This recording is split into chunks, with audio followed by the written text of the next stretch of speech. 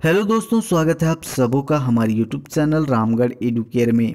दोस्तों, बहुत ही बड़ी खुशखबरी निकल कर आई है दोस्तों जेटेड 2016 में जो पास अभ्यर्थी हैं दोस्तों, उन लोगों के लिए बहुत ही बड़ी खुशखबरी है दोस्तों, और काफ़ी दिनों से इस खुशखबरी का इंतज़ार कर रहे थे 2016 में जो पास अभ्यर्थी हैं जेटेड के।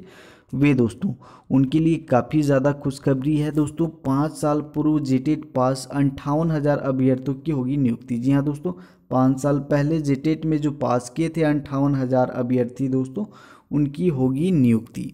तो दोस्तों, मैं आपको पूरा डिटेल से बताऊँगा। इस वीडियो के माध्यम से आप देखिए क्या है माजरा आखिर। तो आप देख सकते हो यहाँ पर ही दोस्तों, पाँच साल पहले जेटेट पास अंठावन हज़ार अभ्यर्थियों को हम इस साल नियुक्ति का अवसर मिलेगा।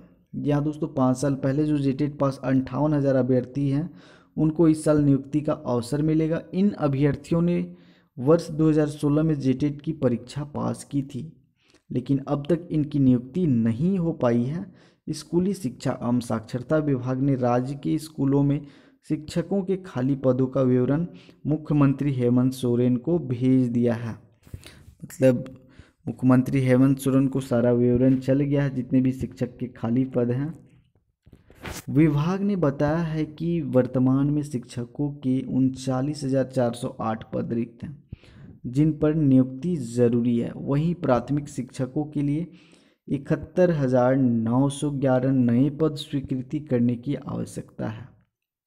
सीएम की सहमति के बाद नियुक्ति प्रक्रिया शुरू होगी। सीएम की सहमति के बाद बस नियुक्ति की प्रक्रिया शुरू हो जाएगी।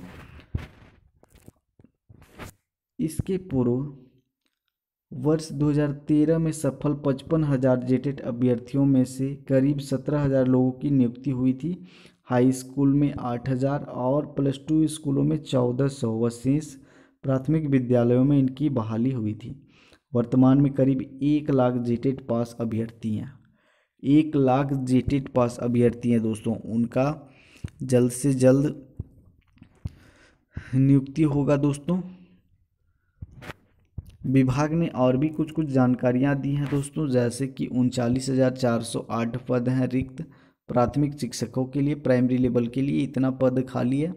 सोलह हज़ार छः सौ अस्सी खाली पद हाई स्कूल व प्लस टू स्कूलों में भी है। इकहत्तर हज़ार नौ सौ ग्यारह नए पद स्वीकृत करने की ज़रूरत है। बाईस हज़ार सात सौ अट्ठाईस रिक्त पद पहली से आठवीं तक में खाली है दोस्तों। पचपन हज़ार तीन सौ बावन स्वीकृत पद प्रा प्राथमिक स्कूलों में ट्रेंड शिक्षकों के लिए भी खाली है। पैंतीस हज़ार पाँच सौ सत्रह इंटर प्रशिक्षित शिक्षक इन स्कूल में हैं कार्यरत। पहली से आठवीं तक के स्कूलों में बाईस हज़ार सात सौ अट्ठाईस पद भी रिक्त है दोस्तों। सीएम को भेजी गई रिपोर्ट के अनुसार पहली से आठवीं तक के स्कूलों में बाईस हज़ार सात सौ अट्ठाईस पद रिक्त हैं। इस प्रकार हाई स्कूल और प्लस टू स्कूल में शिक्षकों के लिए सोलह हज़ार छः सौ अस्सी पद खाली हैं। प्राथमिक शिक्षकों में तिरपन हज़ार तीन सौ बावन रिक्त हैं दोस्तों। रिक्तियाँ हैं और इनको जल्द से जल्द भरा जाएगा दोस्तों। तो यही था दोस्तों आज का अपडेट, जो कि काफ़ी बड़ा अपडेट है जेटेट पास अभ्यर्थियों के लिए।